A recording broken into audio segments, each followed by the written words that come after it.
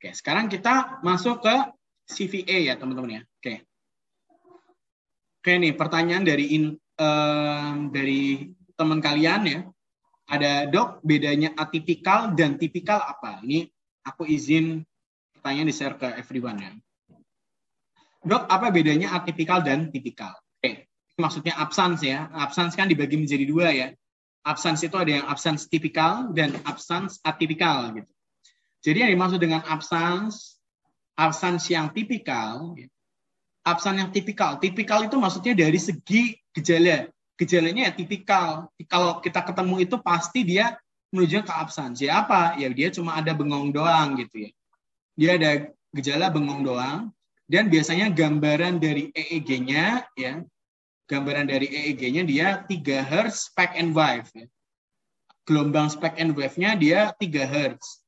Tapi ada yang atipikal gitu. Jadi kalau atipikal itu biasanya dia selain dia bengong, dia biasanya ada gejala kontraksi, tapi kontraksinya bukan di ekstremitas. Kontraksinya adalah di sekitar daerah mata dan leher atau okulogirik namanya. Ya, jadi misalkan matanya kedap-kedip ya, atau misalkan lehernya goyang-goyang, kedutan gitu. Wajahnya grimace ya kayak grimace gitu. Nah, itu berarti dia cenderung yang namanya atypical absence ya. Terus pada gambaran EEG-nya nggak mesti ditemukan 3 Hz spike and wave ya. Jadi tidak mesti ada gitu. Nah, itu yang membedakan antara kejang absence yang tipikal dengan yang atipikal. Oke. Yang nanya udah Jelas belum kira-kira?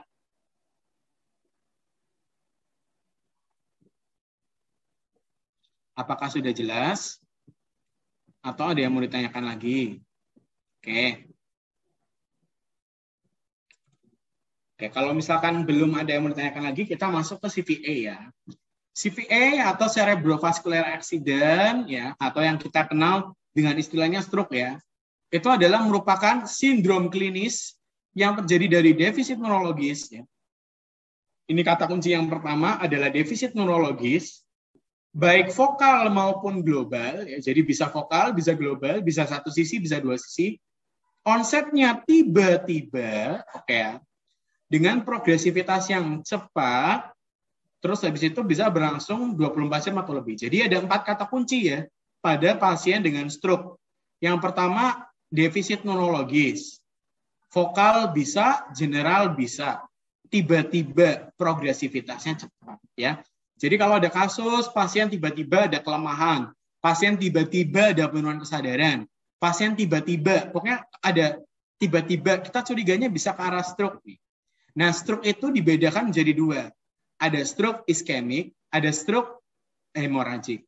Stroke iskemik nama lainnya adalah stroke non hemoragik sama aja ya. Teman-teman nggak usah bingung. Kalau stroke hemoragik ya stroke perdarahan. Stroke iskemik ya atau stroke non hemoragik itu dibedakan menjadi penyebabnya ya ada yang kriptogenik ya biasanya kalau kriptogenik karena adanya suatu benda asing yang kita nggak bisa tahu benda asing itu apa. Kemudian ada kardiogenik embolik biasanya ini karena adanya suatu pembentukan embolus kardiogenik ya biasanya dia karena adanya suatu penyakit yang namanya atrial fibrilasi gitu ya Loh, kenapa dok kok atrial fibrilasi bisa menjadikan embolus? Jadi jantung ini kan punya yang namanya eh, pacemaker ya, yang diawali dari sinoatrial, kemudian menjadi avenot, kemudian jadi berkasis, serabut burkinya gitu ya. Nah, tapi kalau pada pasien AF ya, atrial fibrilasi, dia atriumnya itu seakan-akan punya denyut sendiri gitu. Jadi darah yang ada di dalam atrium itu saling bertumbukan. Kalau darah bertumbuk, nanti dia terbentuk kayak gumpalan-gumpalan gitu. Gumpalan-gumpalan lari ke otak, ya, lari ke otak, maka dia bisa menyumbat, gitu. menyumbat pembuluh darah yang menuju ke otak. Yaitu maka namanya kardiogenik embolus. Asalnya dari jantung. Kemudian ada yang namanya uh, trombosis pada arteri-arteri kecil atau namanya stroke lakuner ya atau ada trombosis pada arteri yang besar namanya aterosklerotik ya biasanya karena penyakit aterosklerosis. Kemudian stroke hemoragik dia dibedakan menjadi dua, ada yang subarachnoid, ada yang intracerebral hemorrhage. Nah, sekarang kita lihat satu-satu nih. Jadi ini adalah istilah lama ya teman-teman ya. Jadi sekarang istilah ini itu sudah tidak dipakai lagi. Yang dipakai tetap yang masih dipakai tetap TIA. Yang lainnya udah nggak dipakai. Cuma uh, biasanya suka keluar di soal-soal tryout. Makanya tetap kita ajarin ya. Tapi aku kasih tahu dulu ya uh, disclaimer bahwa uh, istilah RIND, prolong RIND, complete stroke and evolution itu udah nggak dipakai ya, baik di PPK neurologi maupun di AHA. Nah, sekarang TIA, durasinya kalau TIA itu adalah kurang dari 24 jam.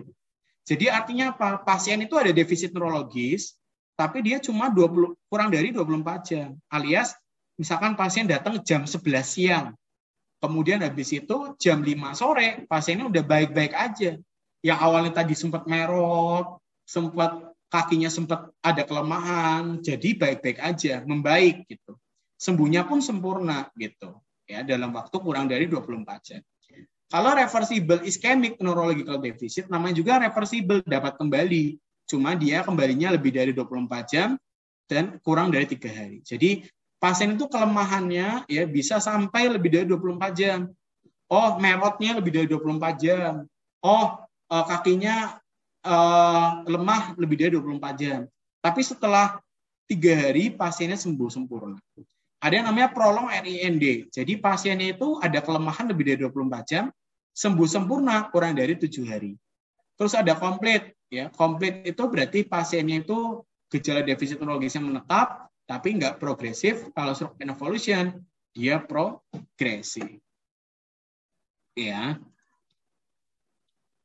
Nah, sekarang uh, biasanya kalau di soal-soal UKM PPD itu suka keluar kata-kata clue ya, clue-clue soal. Kayak misalkan uh, stroke trombosis emboli ini aku jadi SNH ya, ICSA jadi stroke hemoragik.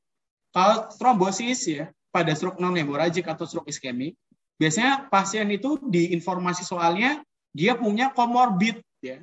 Baik usia tua, lebih dari 65 tahun misalkan. Kemudian habis itu ada DM, hipertensi, rokok, aterosklerosis, di mana misalkan ternyata disediakan nih skor dislipidemianya ya. Misalkan nih contohnya kolesterol totalnya dia lebih dari 200. Kemudian atau trigliseridnya dia lebih dari 150. Kemudian habis itu LDL-nya lebih dari 100. Kemudian HDL-nya kurang dari 40 gitu-gitu. Ya ini berarti uh, biasanya disediakan di soal berarti ini merupakan faktor resiko. Nah, ciri khasnya ya tapi ini aku nggak anjurin teman-teman ngapalin ini ya aku nggak nggak anjurin harus hafal mati enggak karena ini sebenarnya bukan teori tapi cuma kebiasaan yang suka muncul di soal jadi kalau stroke yang non hemoragik biasanya ada kata-kata saat bangun tidur ya jadi stroke iskemik itu biasanya adalah saat bangun tidur atau pada saat istirahat terutama yang sifatnya trombosis kalau yang emboli ya karena atrial fibrilasi biasanya ada gambaran EKG-nya di soal ya ada gambaran EKG di soal yang itu mengarah ke atrial fibrilasi. Ya, ini biasanya karakteristik soal aja ya. Kemudian kalau stroke hemoragik yang ICH, ICH itu biasanya karena hipertensi maligna. Yang dikatakan maligna adalah apabila sistolnya lebih dari 180 mm air raksa, kemudian diastolnya lebih dari 110 mm air raksa. Nah, biasanya kalau pada pasien stroke hemoragik yang ICH adalah pasiennya pada saat aktivitas, ya beda ya. Kalau yang iskemik adalah pada saat bangun tidur, kalau yang perdarahan justru pada saat aktivitas. Cuma ini aku nggak nggak saranin dihafal mati ya. Nanti aku kasih tahu cara bedain yang lebih uh, pastinya. Kemudian kalau subarachnoid, subarachnoid itu biasanya dia penyebabnya karena aneurisma, karena AVM, dan dia bisa muncul kapan aja dan biasanya juga pemicunya aktivitas. Nah, sekarang kita akan masuk ke uh, perbedaan antara uh, stroke hemoragik dengan stroke yang iskemik ya. Jadi kalau stroke hemoragik itu kan dibagi menjadi subarachnoid dan intrakranial. Nah, bedanya dari stroke iskemik adalah pertama kita bedain dari onset. Stroke iskemik onsetnya itu pelan, hitungannya jam sampai hari. Nah, ini aku kasih contoh nyata nih. Kamu kan lagi isip ya. Nah, terus aku pernah datang nih pasien, keluhannya pelo. Kemudian ada kelemahan sisi kiri. Pasiennya udah pelo sama kelemahan sisi kiri sejak tiga hari yang lalu. pasien baru datang hari ini gitu. Nah, itu kan berarti hitungannya hari ya. Jadi pasien itu biasanya perburukannya nggak langsung cepat banget kalau yang stroke iskemik. Tapi kalau stroke hemoragik, dia cenderung lebih cepat, hitungannya menit sampai jam. Jadi dalam hitungan menit aja bisa ada penurunan kesadaran. Nyari kepala, nyari kepala kalau di stroke iskemik dia ringan atau bahkan cenderung nggak ada nyari kepala. Tapi kalau di stroke hemoragik ada. Bedanya adalah ada yang sangat hebat, ada yang hebat ya ada yang fase-nya dia bisa sampai 9 10 8 9 10 ada yang 6 7 8 gitu. Nah kalau misalkan yang sangat hebat ini biasanya ada kata-kata seperti ini. Jadi ada nyeri kepala terberat dalam hidupnya gitu ya. Jadi ada soal-soal kayak gitu nyeri kepala terberat dalam hidupnya. Ini istilah untuk apa sih? Istilah untuk yang namanya thunderclap headache. Ya. thunderclap headache itu adalah ciri khas dari subarachnoid hemorrhage thunderclap headache. Ya kalau ini muncul di soal ya berarti dia mengarahnya ke subarachnoid. Nah, kemudian dari penurunan kesadaran, kalau stroke iskemik itu dia nggak ada penurunan kesadaran. Kayak pasienku tadi ya, dia cuma pelok, ada kelemahan sisi kiri, datang ke rumah sakit jalan masih bisa walaupun jalannya dilempar gitu ya. Masih bisa jalan, masih bisa komunikasi walaupun pelok gitu ya. Kalau stroke hemoragik, dia ada penurunan kesadaran. Nah, itu. Jadi kalau teman-teman kalau mau jawab soal stroke, lihat dulu tandanya. Apakah ada penurunan kesadaran atau enggak. Karena kalau ada penurunan kesadaran, cenderungnya ke arah stroke hemoragi. Kemudian hemiparesis. Hemiparesis itu justru seringnya adalah pada stroke iskemik. Kayak tadi ya, kelemahan sisi kiri, pelo, itu dia di stroke iskemik. Tapi kalau stroke hemoragik itu jarang. ya. Kalau subarachnoid biasanya ada, ya, ada disertai. Rasa meningial sekarang. Pemeriksaan bisa macam-macam, bisa ada kalkuduk, ya. Ada yang nyebutnya pemeriksaan Bruzinski, ada pemeriksaan Kernik, ya sama aja. Kalau hasil Kernik, Bruzinski, kalkuduknya ada yang positif, ya berarti rasa meningialnya positif. Itu berarti ke subarachnoid. Tapi kalau intrakranial dia negatif. Gangguan bicara, ya. Kalau misalnya stroke iskemik bisa ada pelok misalkan. Intrakranial jarang. Kalau subarachnoid bisa ada, ya. Jadi itu yang bisa membedakan teman-teman apakah ini struknya iskemik atau hemoragik. Pertama dari onsetnya, kemudian dari tanda utamanya apakah penurunan kesadaran atau kelemahan, kemudian habis itu dari tanda-tanda yang lainnya ya nyeri kepala, ada rasa meningial atau tidak. Nah sekarang kita akan um, coba mempelajari terkait dengan homunculus cerebri ya. Jadi apa sih yang dinamakan homunculus cerebri ya? Ini kan teman-teman pasti pernah lihat ya atlas sobota, netter gitu ya. Pasti teman-teman pernah lihat gambar kayak gini ya. Ada otak, terus tiba-tiba ada kaki. Nah ini maksudnya gimana sih? Jadi di otak itu ternyata dia punya peta tubuh kita gitu. Ini misalkan hemisfer dextra ya. Jadi peta tubuh hemisfer dextra itu untuk ekstremitas apa? Ya ekstremitas sinistra ya. Kan dia menyilang. Kalau di hemisfer sinistra ya berarti dia untuk ekstremitas yang dextra ya. Oke ya karena dia menyilang. Nah, jadi kalau misalkan gambar homunculus itu dia urutannya dari kaki dulu. Kaki, lutut, ya. Kemudian habis itu eh, badan, tangan, baru wajah. Nah, di sini ada dibagi menjadi area-area. Area kaki, ya, area ekstremitas inferior, dia didarahi oleh adanya suatu arteri namanya arteri cerebel, uh, arteri cerebri anterior arteri cerebri anteri atau singkatannya ACA. Nah, kemudian habis itu ada tangan sama ada wajah. Nah, kalau ekstremitas superior ditambah dengan fasial, dia didarahi oleh arteri cerebri media. Ya. Artinya apa? Artinya misalkan ya, ada sumbatan di sini. Gitu kayak kalau ada sumbatan di sini kan berarti yang mengalami kelemahan adalah kaki sisi kanan. Ini kan otak sisi kiri ya, tapi kan kakinya adalah kaki sisi kanan, ekstremitasnya ekstremitas sisi kanan. Jadi dia uh, ada kelemahan ekstremitas sisi kanan. Berarti namanya adalah monoparesis inferior dextra misalnya ya. Jadi ini ada orang ya yang sakit dia cuma sininya doang, kaki kanannya doang ya. Berarti dia namanya monoparesis monoparesis inferior dextra. Itu ya contohnya. Nah, sekarang aku mau beri kuis ya ke teman-teman ya. Misalkan nih yang tersumbat adalah di sini nih. Tersumbat di sini. Di area sini. Berarti kira-kira yang tersumbat arteri apa dan kelemahannya apa? Kelemahannya apa? Misalkan wajah kah atau tangan kah di sisi sisi apa gitu ya. Yang pertama arteri tersumbat namanya apa? Terus habis itu yang kedua bagian tubuh yang terkena apa? Yang rusak apa? Oke, silakan dijawab nih. Misalnya ada sumbatan di sisi sini ya, sumbatan. Gitu. Kan udah ada gambarnya tuh. Udah jelas banget. Ya, kira-kira apa nih? Kalau ada sumbatan di daerah situ,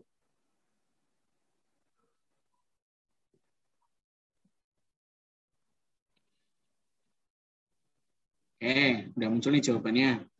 Yang tersumbat adalah arteri cerebri media, benar. Kurang lengkap arteri cerebri media yang sebelah mana?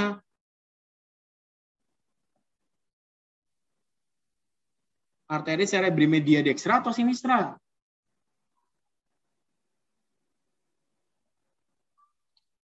Yakin dextra? Kalau penamaan arteri ya diikuti sama penamaan hemisfernya. Ya. Ini kan hemisfer dextra ya berarti semua di sini namanya adalah arteri bla bla bla dextra. Kalau yang sebelah sini arteri bla bla bla sinistra. Nah, berarti berarti apa? Sinistra benar. Arteri cerebri media sinistra, setuju. Itu yang tersumbat ya. Kemudian yang mengalami bagian tubuh yang mengalami kelainan apa? Wajah kah? Tangan kah? Kaki kah? Gitu. Sisi apa? Sisi kanan atau sisi kiri?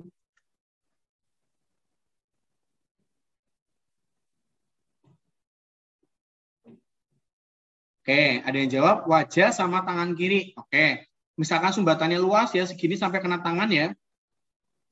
Tapi apakah benar tangan kiri?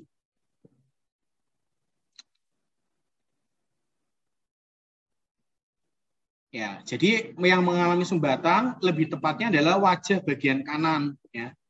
Jadi kan tadi aku bilang bahwa hemisfer itu arteri itu kan sesuai dengan nama hemisfernya ya. Hemisfer dextra ya artinya dextra. Hemisfer sinistra ya uh, arterinya bla bla bla sinistra. Cuma yang kebalik itu ekstremitasnya, ekstremitasnya ekstremitas dextra. Jadi misalkan di sini ya, ini kan di area wajah, berarti Arteri yang tersumbat tadi jawabannya adalah arteri cerebri media. Cerebri media sinistra. Kemudian yang kedua, bagian tubuh yang kelainan adalah wajah sisi kanan. Ya. Oke ya.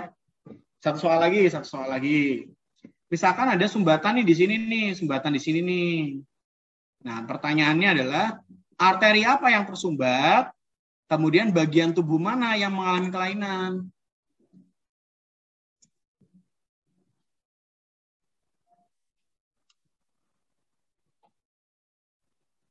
Arteri cerebri media dextra. Oke, okay, good. Sip.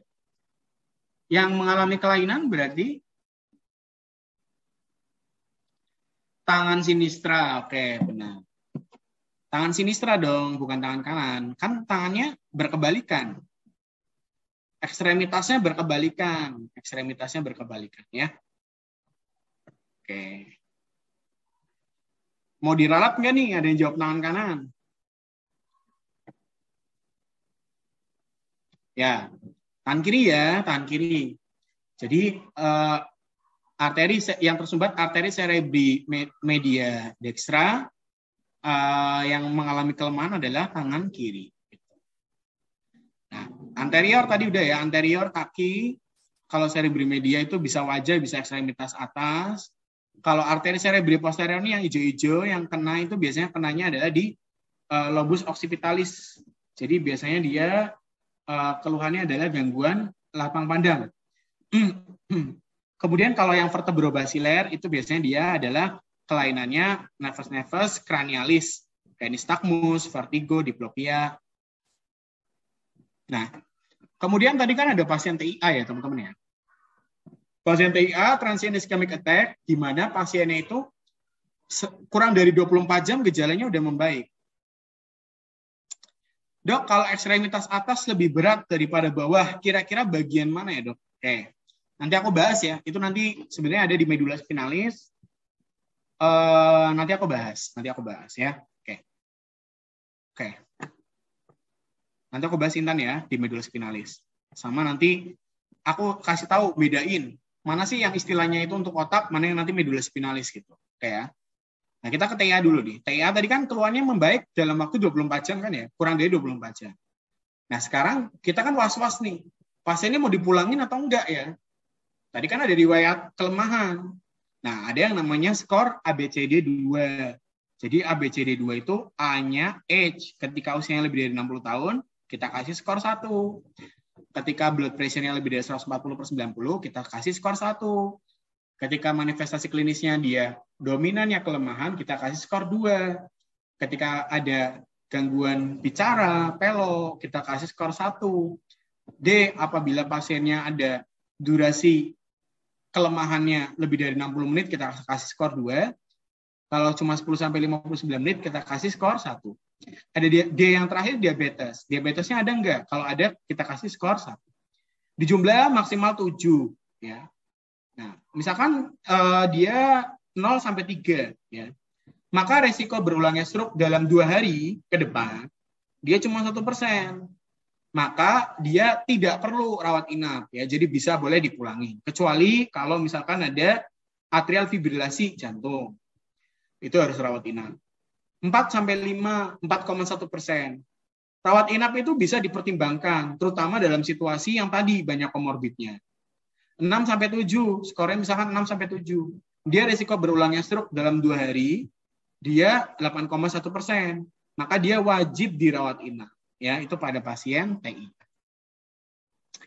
Nah, sekarang apa sih uh, pemeriksaan yang bisa kita lakukan selain pemeriksaan fisik ya? Untuk mengetahui membedakan mana ini yang stroke non hemoragik, mana yang stroke hemoragik. Caranya adalah kita memakai CT scan non kontras ya. Ingat, kalau pada kasus stroke kita pakainya CT scan non kontras. Jadi CT scan non kontras itu dipakai pada pasien stroke, dipakai pada pasien trauma juga gitu. Nah, kalau pada pasien stroke kita bisa lihat nih di sini. Di sini kan lebih gelap ya korteksnya. Di sini lebih putih gitu. Di sini gelap, di sini putih. Ini ada gelap banget nih. Ya, kelihatan lebih jelas. Nah, bagian yang gelap-gelap ini dinamakan daerah hipodensitas. Ada daerah hipodens. Kemudian ada MCA densine. Jadi ada hiperdensitas, tapi di daerah arteri cerebralis media. Kalau baca CT scan kebalik ya, di sini dextra, sini sinistra. Nah, ini kan berarti ada penyumbatan pada arteri cerebralis kanan nih. Eh, arteri cerebr arteri cerebri medias yang kanan. Dia ada putih-putih, ini berarti ada hiperdens. Nah, putih-putih ini sebenarnya adalah trombus. Trombus yang ngumpul, sumbatan yang ngumpul, akhirnya dia berwarna memendarakan seperti itu. Jadi, dia ada sumbatan di daerah kanan. Kemudian ada yang namanya insulari bonsine. Jadi insulari bonsine itu apa? Harusnya normal ini putih-putih nih kayak gini nih, ya. Putih jelas ya. Daerah gray matternya putih. Tapi ini kita lihat di sini, dia warnanya gelap nih, lebih gelap daripada yang sebelah kanan. Nah, itu yang dinamakan insulari bonsine. Jadi insulari bonsine adalah ini namanya lobus insularis ya, teman-teman ya. Nah, biasanya lobus insularis itu dia punya arteri yang kecil-kecil. Jadi kalau dia punya ada sumbatan, maka dia yang paling sering terkena duluan, paling sering terkena duluan.